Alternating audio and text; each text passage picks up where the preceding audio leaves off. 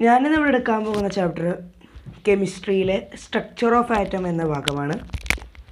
എല്ലാവരും ഞങ്ങളുടെ channel subscribe ചെയ്യുക.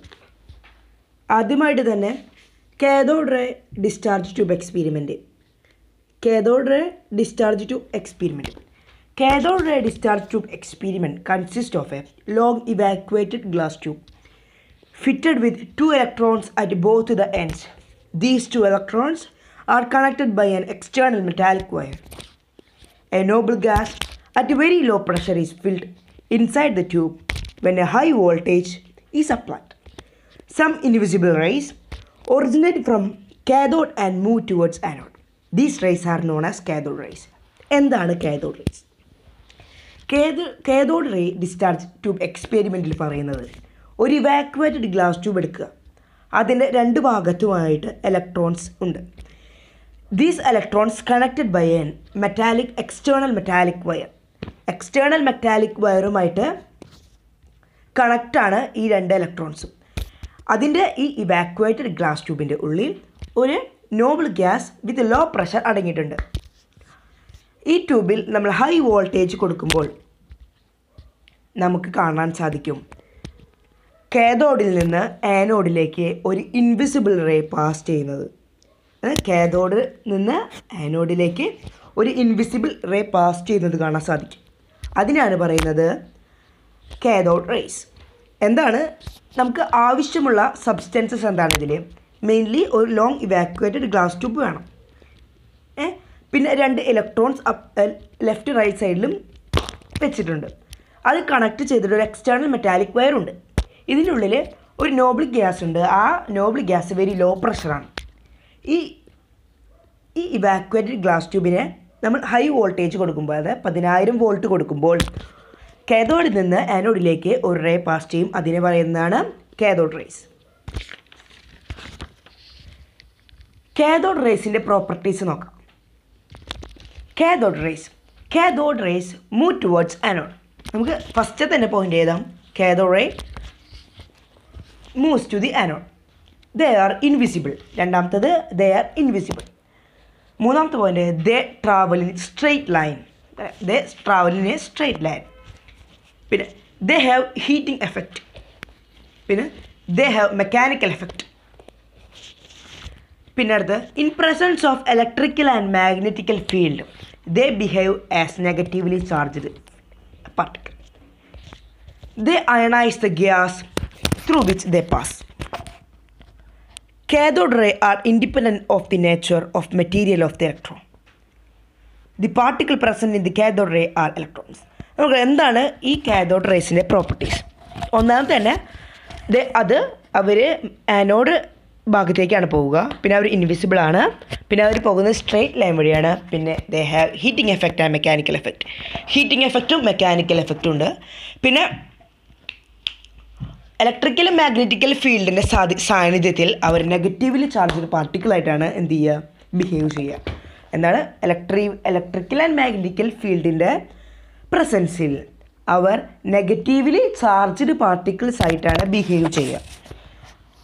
പിന്നെ അടുത്ത് അവർ പോകുന്ന വഴിയൊക്കെ അവരെന്ത് ചെയ്യും? അയോണൈസ് ആക്കിയിട്ട് പോകും അയോണൈസ് ചെയ്തിട്ട് അവർ പോകുന്ന വഴിയല്ലാതും അവർ അയോണൈസ് ആക്കും. പിന്നെ ഈ കാഥോഡ് റേ ഏത് പാർട്ടിക്കിൾസിന്റെ ഒരു ഏത് മെറ്റീരിയൽസിന്റെ പൊക്കോളും. എന്ന് വെച്ച് കഴിഞ്ഞാൽ അവർക്ക് നാച്ചുറൽ പ്രശ്നമല്ല. ഏത് ഉള്ളിക്കൂടിയും പൊക്കോളും വരിക പിന്നെ particle present the cathode ray are electrons അപ്പോൾ നമ്മൾ കണ്ടുപിടിച്ചു the particle present the cathode ray are electrons. അടുത്താണ് E by M ratio charge to mass ratio of electron in presence of electrical field, cathode ray get deviated towards positive charge and in presence of magnetic field they get deviated to opposite sides by carefully adjusting the magnitude of the electrical and magnetic field The cathode ray can be allowed to travel in straight line. The deviation depends upon the charge of the electron and mass of the electron. എന്താണെന്ന് പറയുന്നത് വെച്ച് കഴിഞ്ഞാൽ ഈ cathode ray positive ചാർജിന്റെ അടുത്തേക്ക് വരുമ്പോൾ അവർ എന്ത് ചെയ്യും? ഡീവിയേറ്റ് ചെയ്യും. എന്ന് കഴിഞ്ഞാൽ അവർ പോസിറ്റീവ് ചാർജിനായിട്ട് കാണില്ല. അപ്പോൾ അവർക്ക് നമുക്ക് എന്ത് മനസ്സിലാക്കാം? അവർ പോസിറ്റീവ് ഈ കേതോടെ പോസിറ്റീവ് ചാർജ്ഡ് പാർട്ടിക്കിൾസ് ആണ് എന്ന് മനസ്സിലാക്കാം. പിന്നെ പറയുന്നത് വെച്ച് കഴിഞ്ഞാൽ line the deviation upon the അവരുടെ ഡീവിയേഷൻ രണ്ട് കാരണങ്ങൾ കൊണ്ടാണ് the charge of the electron the mass of the electron എന്തുകൊണ്ടാണ് ഡീവേറ്റ് ചെയ്യാൻ പോകുന്നത്? മെയിൻലി അവരുടെ ചാർജ് ഓഫ് ദി ഇലക്ട്രോണും മാസ് ഓഫ് ദി ഇലക്ട്രോണും നോട്ട് ചെയ്യേണ്ട പോയിന്റാണ് ഇത് നമ്മൾ എടുക്കുന്നത് എക്സാം ഓറിയന്റഡ് മാത്രമാണ് നമ്മുടെ ടെക്സ്റ്റിലെ മെയിൻ പോയിന്റ്സ് മാത്രം ഉള്ള ക്ലാസ്സാണ് പിന്നെ ഇ ബൈ എം റേഷ്യോയുടെ വാല്യൂ ഒന്ന് നോട്ട് ചെയ്യാം. One point seven five into ten raise to eleven coulomb per kilogram C by K G ആണ് ഇ ബൈ എം റേഷ്യോയുടെ വാല്യൂ അടുത്തായിട്ട് charge of an electron charge of an electron അത് കണ്ടുപിടിച്ചത് Millikan's oil drop experiment വഴിയാണ്. Millikan oil drop experiment പിന്നെ അടുത്ത point the value of electron ഇലക്ട്രോണിന്റെ value നമുക്ക് മാ ഇലക്ട്രോണിന്റെ മാസ് പറയാം ഇലക്ട്രോണിന്റെ വാല്യൂ പറയാം. ഒന്നാമത്തെ ഇലക്ട്രോണിന്റെ mass mass nine point one into ten raise to minus thirty one kilo ആണ്. കിലോഗ്രാം ആണ് ആരുടെ? ഇലക്ട്രോണിന്റെ മാസ് അവരുടെ value one point six nought two two into ten raise to minus nine അടുത്തതായിട്ട് ചാർജ് ഓഫ് എൻ ഇലക്ട്രോൺ കഴിഞ്ഞു. അത് എന്തുവഴി കണ്ടുപിടിച്ച main point Millikan's oil drop experiment അടുത്ത് Thomson model of atom Thomson model of atom അതിന് അത്യാ മൂന്ന് പേര് നാല് പേരുകളിലാണ് അറിയപ്പെടുന്നത്. Watermelon model plum pudding model റേസിക് pudding model നമ്മുടെ ഒരു വാട്ടർ വാട്ടർമെലൺ എടുക്കുക അതിലെ കുരു ഉള്ള ഭാഗം നെഗറ്റീവായിട്ടും അതിന്റെ റോ ഉള്ളിത്തെ കളറുകൾ അല്ലെ റോസ് കളറാ ഇത്ര കളറ് പോസിറ്റീവായിട്ട് എടുക്കുക പിന്നെ പറയുന്നത് അതിന്റെ മെയിൻ പോയിന്റ്സ് ഞാൻ പറഞ്ഞുതരാം. മാസ് ഈസ് യൂണിഫോമിൽ ഡിസ്ട്രിബ്യൂട്ടഡ് അവരുടെ മാസ് യൂണിഫോം ആയിട്ടാണ്. ഒരു ഭാഗത്ത് കൂടുതലും ഒരു ഭാഗത്ത് കുറവില്ല. അവരുടെ മാസ് യൂണിഫോമിൽ ഡിസ്ട്രിബ്യൂട്ടഡ് ആണ്. According to this model of atom atoms are spherical in shape in which positive charges are uniform distributed and negative charges are embedded in it എന്താണ്? They are spherical in shape they are spherical in shape പിന്നെ positive charged particles uniformly distributed അതിന്റെ ഉള്ളിൽ positively charged particles uniform ആയിട്ട് എല്ലായിടത്തും ഉണ്ട് പക്ഷേ electrons അതിന്റെ മേൽ എംബഡഡ് ആണ്. ഓരോ നമ്മുടെ തണ്ണിമത്തലിന്റെ കുരു പോലെ ഓരോ ചില സ്ഥലങ്ങളിൽ മാത്രമായിരിക്കും എന്തുണ്ടാവുക? ഇലക്ട്രോൺസ് ഉണ്ടാവുക. This model can be compared with that of the watermelon where the red path is the nucleus and the seeds are electrons. Red part nucleus ആയിട്ടും സീഡ് ഇലക്ട്രോൺസുമായിട്ട് നമുക്ക് വാട്ടർമെനിലൂടെ നമുക്ക് മനസ്സിലാക്കാൻ സാധിച്ചു. In this model of atom the mass is uniformly distributed mainly point in this model of atom the mass is uniformly distributed എന്താണ് പറയുന്നത്? Thomson model of ആറ്റത്തിലെ മാസ് എല്ലായിടത്തും യൂണിഫോമിൽ ഡിസ്ട്രിബ്യൂട്ടഡ് ആയിട്ടാണ് കാണിക്കുന്നത്. അതാണ് ഇതിലെ main point Thomson model of ആറ്റത്തിലെ ഇനി അടുത്തത് റുഡർ Rutherford's gold foil experiment അതിനെ ആൽഫ റേ സ്കാറ്ററിംഗ് എക്സ്പെരിമെന്റ് എന്നും വിളിക്കുന്നുണ്ട്. This experiment Rutherford allowed alpha rays to bombard with gold foil during the experiment നമുക്ക് രണ്ട് കോളമായിട്ട് തിരിക്കാം. ഒന്നാമത്തെ ഒബ്സർവേഷൻ രണ്ടാമത്തെ ഇൻഫറൻസ് ഇനി രണ്ട് കോളമായിട്ട് നമുക്ക് തിരിക്കാൻ സാധിക്കും. എന്താണ് ഈ റുദർഫോർഡ് ചെയ്യുന്നത്? ആൾ ഒരു ഗോൾഡ് ഫോയിൽ എടുത്തു ഒരു തിൻ ഗോൾഡ് ഫോയിൽ എടുത്തു. അതിലേക്ക് ആൽഫ റേസിനെ ബൊമ്പാടിയിപ്പിക്കുകയാണ് തട്ടിപ്പിക്കുകയാണ് വന്നിട്ട്. ആൽഫ റേസ് കടത്തിട്ടുണ്ട്. അപ്പോൾ നമുക്ക് രണ്ട് ഒബ്സർവേഷൻസും ഒബ്സർവേഷൻസും കാണാൻ സാധിക്കും ഇൻഫറൻസസും കിട്ടും. മെയിൻലി ഒബ്സ് നമുക്ക് കാണാൻ സാധിക്കുന്നത് മെയിൻലി എന്ന് വെച്ച് കഴിഞ്ഞാൽ most of the alpha rays pass through the gold foil without any deviation പകുതി മുക്കാലും എങ്ങനെയാണ് പോകുന്നത്? പകുതി അല്ല തൊണ്ണൂറ്റെട്ട് ശതമാനം പോകുന്നത് ഏത് വഴിയാണ്?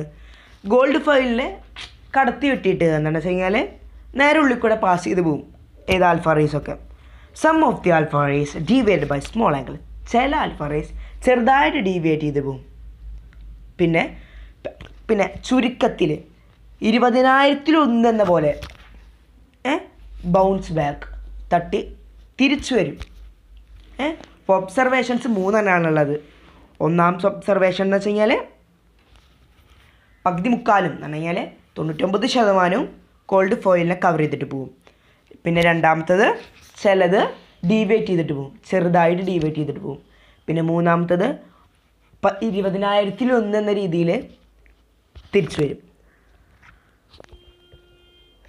According to the Rutherford model of atom atoms are spherical in shape having a centrally located nucleus റുദർ ഫോർഡിന്റെ മോഡൽ ഓഫ് ആറ്റം അനുസരിച്ച് ആറ്റം സ്പിരിക്കൽ ഇൻ ഷേപ്പാണ് വട്ട വട്ടാകൃതിയിൽ ന്യൂക്ലിയസ് അതിന്റെ നടുവിലായിട്ട് ഉണ്ട്.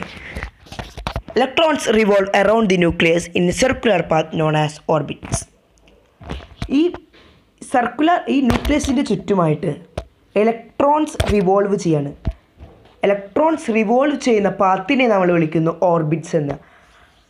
There is a electrostatic force of attraction between nucleus and electrons ന്യൂക്ലിയസും ഇലക്ട്രോൺസും തമ്മിലൊരു ഇലക്ട്രോസ്റ്റാറ്റിക് ഫോഴ്സ് ഉണ്ട്. ഈ മൂന്ന് കാര്യങ്ങളാണ് റുദർഫോർഡ് പറഞ്ഞത്. ആളുടെ ഗോൾഡ് ഫോയിൽ എക്സ്പെരിമെന്റ് അനുസരിച്ചിട്ട് ആളുടെ ഗവേഷണങ്ങളിൽ നിന്ന് ആൾ മൂന്ന് കാര്യങ്ങൾ കണ്ടെത്തി. അതിൽ ഒന്നാമത്തത് atoms are spherical in shape and having a centrally located nucleus രണ്ടാമത്തത് ഈ ന്യൂക്ലിയസിന് ചുറ്റുമായിട്ട് ഇലക്ട്രോൺസ് ഇങ്ങനെ പലായനം ചെയ്തുകൊണ്ടിരിക്കുകയാണ് വട്ടാകൃതിയിൽ ഇങ്ങനെ ചുറ്റിക്കൊണ്ടിരിക്കുകയാണ്. ആ ചുറ്റണ ആ പാത്തിനെ ആൾ വിളിച്ചു ഓർബിറ്റ്സ് എന്ന്. പിന്നെ ഈ ന്യൂക്ലിയസും ഇലക്ട്രോൺസും തമ്മിൽ ഒരു ഇലക്ട്രോസ്റ്റാറ്റിക് ഫോഴ്സ് ഉണ്ട് എന്നും അയാൾ കണ്ടെത്തി. അതാണ് ഗോൾഡ് ഫോയിൽ എക്സ്പീരിയൻസിലൂടെ നമുക്ക് മനസ്സിലാക്കാൻ സാധിക്കുന്നത്. അപ്പം തന്നെ അയാളുടെ മോഡൽ ഓഫ് ആറ്റത്തിൽ കുറച്ച് ഡീമെറിറ്റ്സും ഉണ്ടായിരുന്നു. എന്താണ് ഡീമെറിറ്റ്സ് എന്ന് വെച്ച് കഴിഞ്ഞാൽ he could not explain the stability of an atom he couldn't explain the line spectrum of hydrogen രണ്ട് കാര്യങ്ങളാണ് റുദർഫോർഡിന്റെ ഡീമെറിറ്റ്സ് ആയിട്ട് കണക്ക് കൂട്ടിയിരിക്കുന്നത് ഒന്നാമത്തത് he could not explain the stability of an atom ഒരു ആറ്റത്തിന്റെ സ്റ്റെബിലിറ്റി ആൾക്ക് കാണാൻ കാണിക്കാൻ സാധിച്ചില്ല. രണ്ടാമത്തത് ഹൈഡ്രജന്റെ ലൈൻ സ്പെക്ട്രം ആൾക്ക് എക്സ്പ്ലെയിൻ ചെയ്യാൻ സാധിച്ചില്ല ഇതിലൂടെ. അത് ഈ രണ്ട് കാര്യങ്ങളെയും വെല്ലുവിളിച്ചുകൊണ്ട് കുറേ അടുത്ത തിയറീസ് വരാണ് മോഡൽസ് വരാണ്. റുദർഫോർഡിന്റെ ചെയ്ത പോലെ വേറെ കുറേ സയൻസും ഇങ്ങനെ ചെയ്തിട്ടുണ്ട്. അതിനു മുമ്പ് നമുക്ക്